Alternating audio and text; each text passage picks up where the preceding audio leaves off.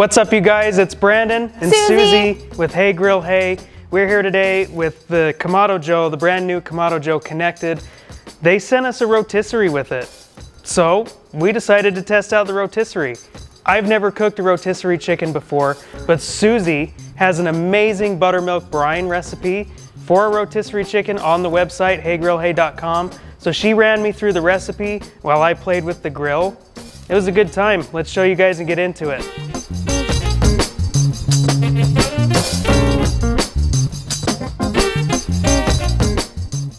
All right, step one for our rotisserie chicken. Are we calling this a Joe-tisserie chicken? Might as well. They sent us the attachment and we're gonna use it. This is a Joe-tisserie rotisserie chicken. So I wanted a rotisserie chicken that was very reminiscent of a fried chicken. So what I did was brine. I think the brine helps the chicken hold up really well to the high heat cooking method of that rotisserie style. So I have a buttermilk brine here. It's actually very similar to what you would see for a fried chicken. Four cups of buttermilk, there's garlic, onion, paprika, salt, pepper, and celery seed. And it smells really good. We're gonna season this all the way throughout. So from the brine to the cooking process, flavor everywhere. So glove up, let's get this chicken in the brine. Now this is just a typical whole fryer chicken. They usually are about four to five pounds, pretty affordable at the grocery store. And I think whole chickens are just real fun to cook. Okay, chicken into the brine. Now we're just gonna do this in a big bowl, but I've also done this in a big like gallon storage bag so that it's all the way around. Just give it a nice turn.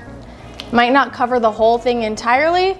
My priority for any brine like this is gonna be the breast meat first. So breast down, lid on, and we're gonna pop this in the fridge for at least four hours, but you can leave it up to 12 good to do a day in advance.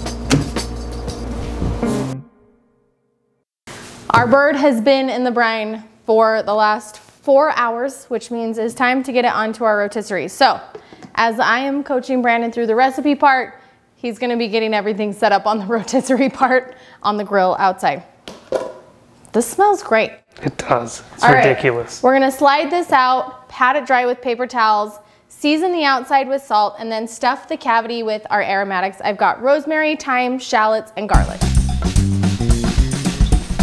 And just give it a light pat down. And then it'll be okay. Yeah, it's not that much. Yeah, there you go. Yeah.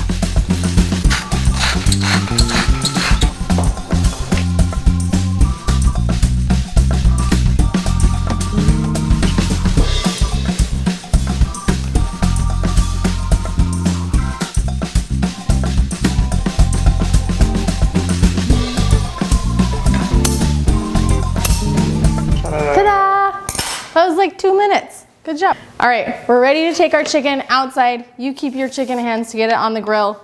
Let's talk about how we have that Kamado Joe set up to cook this bad boy. So it's Well, the let's do it outside. yeah. Let's Let's do it them in the outside. outside. Yeah. Yeah, let's go. All right, today we're cooking this rotisserie chicken on the Kamado Joe Konnected. They sent us this rotisserie attachment with the grill. We're gonna have a full review on this grill coming soon, but we wanted to play with it a little bit today and do some testing. So Susie had the recipe part. Now I'm gonna show her how this grill works. We've got it set up at about 400 degrees. That's what Susie's recipe calls for.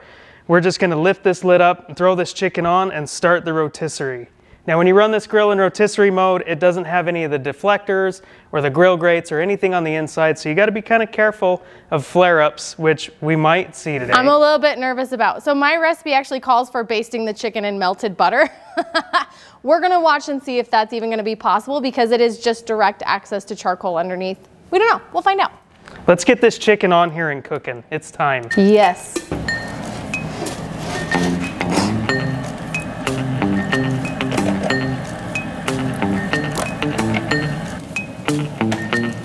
That feels so close to the fire for me. Okay, we close it, yes? Yeah, lid down, and then that fire will go out. Okay, let's turn around and say that. Woo! that looks so hot in there. It's so close to the fire, we might actually see some of those flame ups. Cross your fingers for us. So we did not battle flare-ups this whole time. It did take a little bit longer than I anticipated, but it looks so beautiful. We had some slippage happening with our actual rotisserie skewers, but overall I think the cook went really well.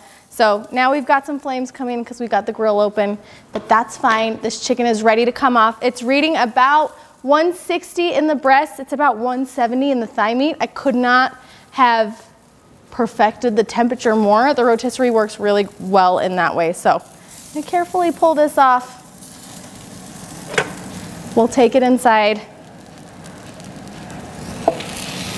Oh yes. Man, and get that that, chicken good. broken down. It smells so good. Beautiful. Little roasty wingtips, but I ain't sad about it.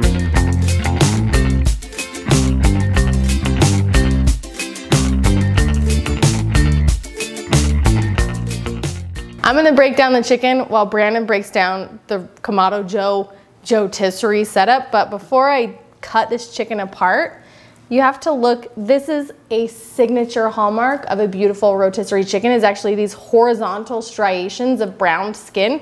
It's from the fat dripping as it spins. It gives you those beautiful, like almost tiger stripes on the skin. This is a very beautiful rotisserie chicken skin and I cannot wait to eat it. All right, as Susie's breaking down this chicken, I'm gonna break down the grill a little bit. So the actual full setup is on the Kamado Joe Konnected. It's a brand new grill, and like I said earlier, we're gonna have a review out on it very soon, so I'll just be quick here. It's a ceramic grill. They're really good at holding high temperatures for a very long time on very little amounts of charcoal, and that's what people really love about them. The accessory we use today to do this is called the Joetisserie. Basically, it's a ring that sits on top of the Kamado Joe as the lid is open, and then the lid kind of slams down on top of it, and the gaskets seal up uh, almost airtight. They're not quite airtight, but they do a good enough job. And then it has a motor that mounts on the end that the actual shank for the rotisserie goes into, and that's what spins it the entire time very slowly. And you can see with this chicken, Susie already showed you how good of a job it did at cooking this bird evenly. This thing looks incredible and it smells even better. Look it's at that mahogany skin on those thighs and those drumsticks. It's nuts. I can't wait to bite into that. So I've only done this chicken on gas rotisseries before. So I'm very excited to have that charcoal flavor And on see, this chicken. the most rotisserie experience I have is those pre-done ones from the grocery store. Yep. So I'm even more excited. This thing's gonna be great. No, I'm the most excited. No, I'm the most excited. No. Todd's the most excited. Let's just have a moment of skin worship here, please, and appreciation. This is a chicken skin appreciation video now. I'm real excited about how this turned out just from slicing it. I mean, the fact that this chicken skin, that fat underneath there is almost completely rendered. It is just thin and mahogany brown, and uh, I'm super excited to eat it. Okay, I'm almost done. Now, don't throw away your carcass. Brandon and I were just talking about this. The greatest thing in the world is smoked chicken noodle soup made from your chicken carcasses. So please keep your bones and make bone broth, and you can pick off any little pieces of chicken that, you know, didn't make it, set those aside, stir those into your soup at the very end. It's the best. Oh, the inside is so juicy. Okay, what are we trying first, Brandon? Breast? Um, yeah, I think I'm gonna go for a slice of breast here. I think a good breast is a true mark of a really delicious chicken because it's so lean, it's the hardest to get right. But hopefully, with the brine, the flavor, I'm a thigh gal all day.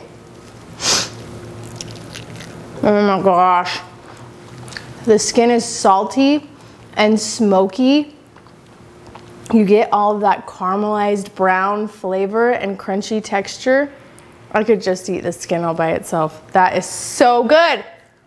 I'm sold. I already loved this rotisserie chicken recipe, but now that we got the uh, charcoal, like the ability to actually do a rotisserie over charcoal, I'm real, real excited. This might be back in the weekly rotation. There's so much moisture in this chicken breast, it's insane. Mm-hmm. I think for an experiment, we nailed it. Mm. The time may have taken a little bit longer, but it was totally worth the wait. I think if you guys want a good classic rotisserie backyard chicken, this is the recipe. If you want to try a new method of cooking it, the Joetisserie was a really fun way to go today. Yeah, it was fantastic. It was a lot of fun. Absolutely. So you guys can check out the recipe on heygrillhey.com or on the Hey Grill Hey app. We've also got t-shirts. We've got, I don't know, all sorts of fun things over there. So go check it out and we'll catch you guys next time.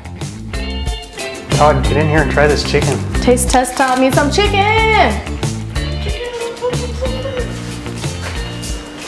You gotta eat something. You haven't tasted anything all day. I'm sure we'll have here. You went with a breast, I for sure thought you'd go thigh.